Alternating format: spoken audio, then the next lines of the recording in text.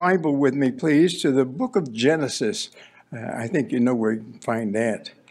Uh, but Genesis chapter 2, and I'm going to be reading first of all verses 1 or verses 18 through 24. And then we've got some other things to say. Genesis chapter 2, beginning with verse 18.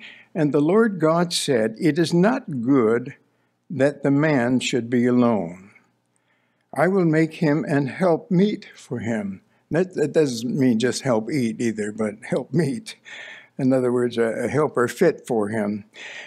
And out of the ground the Lord God formed every beast of the field and every fowl of the air, and brought them unto Adam to see what he would call them.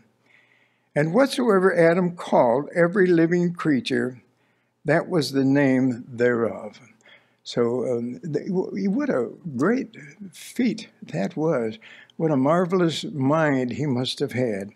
And Adam gave names to all the cattle and to the fowl of the air and every beast of the field but Adam, but for Adam there was not found an helpmeet for him.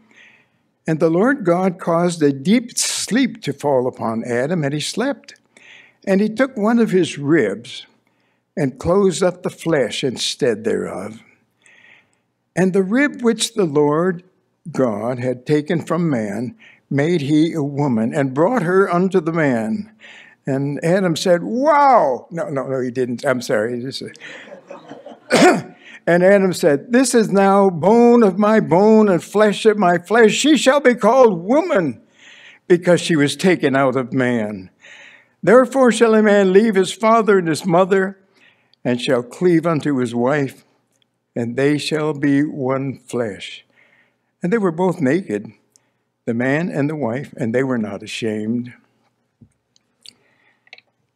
Well, Pastor Mike asked me if I would fill in for him today, and I decided to address something a little bit different. First, I thought, well, Lord, I want to talk about the Jews. I, I love to talk about Israel. Then I thought, no, well, maybe I, should, maybe I should talk about the near coming of Christ. I believe that Jesus is the next major event on God's calendar of time, his return for his saints. I said, no. So anyway, however, I, I looked at the calendar and found out that next Saturday is my anniversary. And I thought, well, I think, I think I'm going to talk about marriage. I think I'm going to talk about family. I met my wife in church, and actually, I, I met her on the same day that I got saved, November 16th, 1952 at oh this time of the day. Um, and it, it, was great. Uh, we didn't start dating until three years later when I got back from Korea. Uh, we dated for about seven, eight months and fell in love. And I remember when I proposed to Intha, I said, I say I was a Marine at the time, and I love you, honey. And I wish I could give you all the things my friend Benny has boats, sports cars, airplane. But honey, I, I really do love you. She says, I love you too, but please tell me more about Benny. Wait a minute. Yeah, I've, I've always loved to joke, and, and sometimes it gets me into trouble. Uh, uh, the girl that introduced me to Intha was a very dear friend. I met her in high school. I was a senior in high school, and uh, I met her in class and, and sat next to her on the school bus.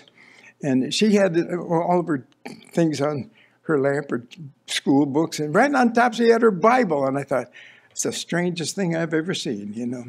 And she said, uh, "Let me ask you this: Do you uh, would you like to go to our Sunday school class?"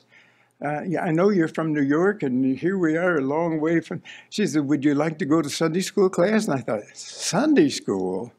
Ooh, that's for squares. I, I, I said, do, do, do, they have, do they have a church service? She said, Yes. I said, Well, I'll go to that. And, and I did. Well, she was the one who introduced me to Intha on the very day that I got saved. In fact, folks thought that she was a, she was a very dear friend um, because she was the one that gave me opportunity to be saved. Took me to church, and man, I heard things I never heard before. And I, I thought, Lord, if you did this for me, oh, you got the rest of my life. Been a long time now, but well, one time I was joking, and you know, she was a very good friend. People thought that I might marry her. Her name was Gwen. And so I was having a little joke, and sometimes they get me in trouble. You ever get in trouble joking to somebody? I mean, just anyway, I got down on one knee and and uh, I held her hand and I, I said, I, have been wanting to ask you this very important question. And she said, she, she was kind of nervous, you know. She was, and so I, I guess I was nervous too. But um, I said, does the chewing gum lose its flavor on the bedpost overnight? She didn't think it was funny. So in fact, my, my shin still hurts from that one. Well, there is no su- substitute for really falling in love. I had to come all the way from New York to California to find the girl that I wanted to fall in love with and marry. The girls in New York seemed to be, uh, they, they were lacking something. I don't know what it was. In fact, we had a, we had a beauty contest one time and nobody won. well, I could say some more things too, but the, the girls were all into poetry. Uh, uh, one girl prayed, Lord, I know how much I, you know how much I love you, and now help me if you can. I'll hang these trousers on the foot of my bed. Please fill them with a man. well, it didn't work, I guess. Wait a minute. Did you understand what I said? Someone said, uh, love is, um, it goes this way love is a, is a tickling around the heart that cannot really be scratched. If you have never felt that way, then someday you will. God has a partner for you, and God has a partner for you. And it's wonderful to know that you can fall in love. After I got saved, I, I desired to, to date someone who had a real love for Jesus like I had. And uh, so I, my, my love life changed, my dating life changed completely. Love is a gift of yourself to someone else for their enjoyment until that gift becomes sharing. When we, when we first started dating, uh, we had prayer every time we, and we found out, actually, we were praying, and, and she would pray for me. I was still in the Marines down at Camp Pendleton, California, and uh, and she would pray that Lord bless Cass as he goes there, and and, and I would say, Lord bless Anthis. She she works, boy. She's making money, boy. Whoo hoo. No, not very much, but but uh, we we had prayer every every time and uh, after I after I got saved, I wanted somebody who loved the Lord. Did you know that God teaches that love must be learned in a marriage? I want you to turn with me, please, over to Titus, way back to the book of Titus and chapter 2.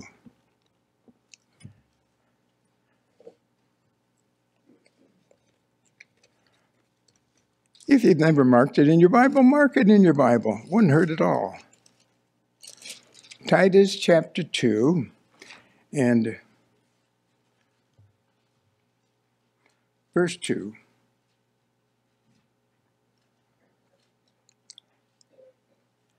that the aged men be sober, grave, temperate, sound in faith, in charity, in patience.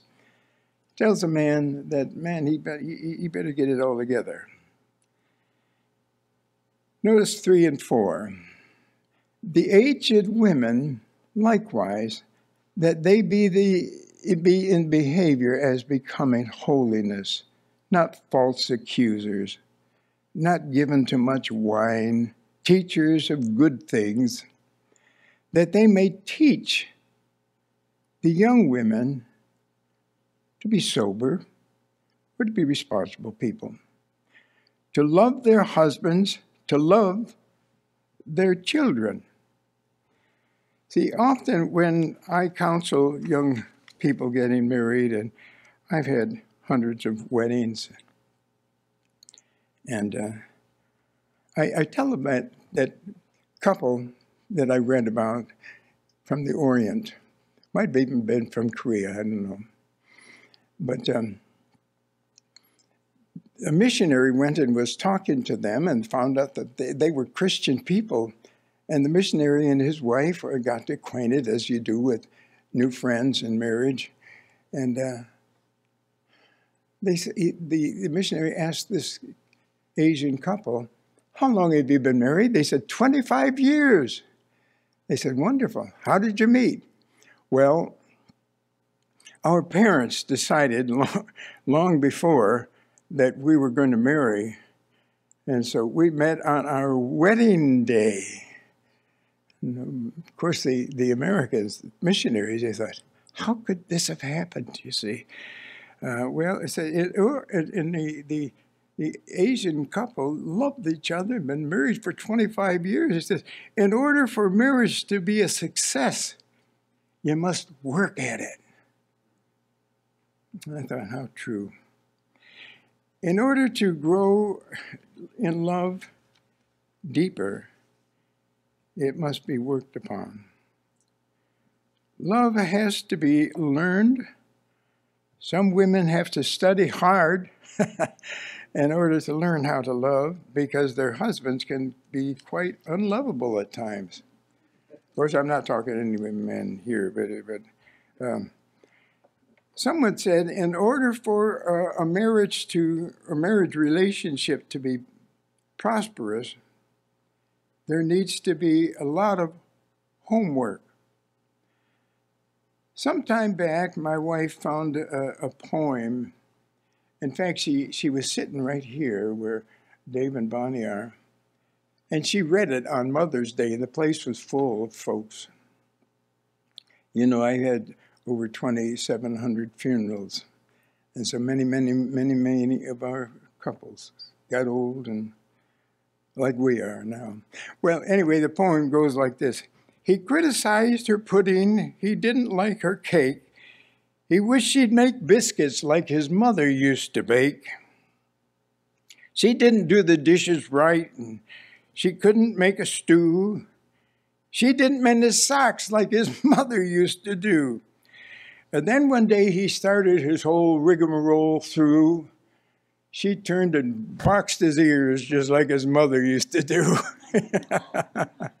well, you, you see, the, the stick to itiveness stick to itiveness. In other words, sticking together, uh, or the, the commitment that your grandparents had when they said, Until death we do part. That commitment is waning nowadays. You know, it's, it's sad what's happening to, to marriage in America. Um, today it doesn't seem to work, let's chuck it. We can always try again sometime. A couple came to me, uh, my office was the office that Pastor Kim has now. They came to me one time and uh, they knew that I had married a lot of people in this, in this area. I didn't know them, but as soon as I talked to them, I wanted to find out if they were Christians. And they said, Oh, yes, we are Christians. We Uh, and I said, Tell me about it. And they gave me a little testimony of some kind. And then in our conversation, the young lady told me, We have agreed that if our marriage doesn't work, we will get a divorce. And he was sat, he was sitting there, and I saw his head go. I, in fact, I heard his head shaking up and down. You know, um, it was rattling. And I gave them the old California pleasantry. Have a nice day, folks, but go someplace else. You know, if the attitude is, well, if it doesn't work, we go. Let me give you some facts. Since 1920, the divorce rate in America has increased over 1,420 percent until the U.S., you know, we have the highest divorce rate of any industrialized nation. America does. Five out of six adults who are criminals in jail or in prison are from broken homes where their parents divorced somewhere along the way. Grandparents or some other relatives are now raising millions of American children because their parents gave up. When I was pastoring here, uh, it was a rarity to have a young couple come to me to get married uh, if they were not already cohabitating, living together. According to the U.S. Census Bureau, 1 million people were in unmarried partner households in 1970. Doesn't seem like a long time ago to me, does to you perhaps. The number rose to 3.2 million in 20 years, 1990. In 2000, the figure soared to 11 million were in an unmarried partnership in America. Now it has gotten worse. People living without marriage. Living together is becoming a, as trendy as fast foods and cell phones. Incidentally, older couples are keeping up with that, that pace also. Can't tell you how many people. When my wife and I were newlyweds, we were in we were in the pastorate. We weren't in the pastor, but we were in the church, where the pastor was a wonderful man. He and his wife. His parents came to visit the church, and they were married over 50 years. And uh, one day, I we went to church and found out that his mother and father got a divorce. Christian people. It is considered abnormal for people to be married for a long time today. Incidentally, on Saturday, my wife and I will have our 63rd wedding anniversary. That's a long time. But, you know, we, we had a couple in our, our church here that, of course, I had both their funerals years ago. Last name was Myrick. And one Friday, I, I took Mrs. Myrick to visit him in the hospital. And um, her name was Leela, his was Artie. I gave him a haircut. I can't tell you how many guys I cut their hair before they died. But I gave him a haircut, and, and July 10th that year was their anniversary.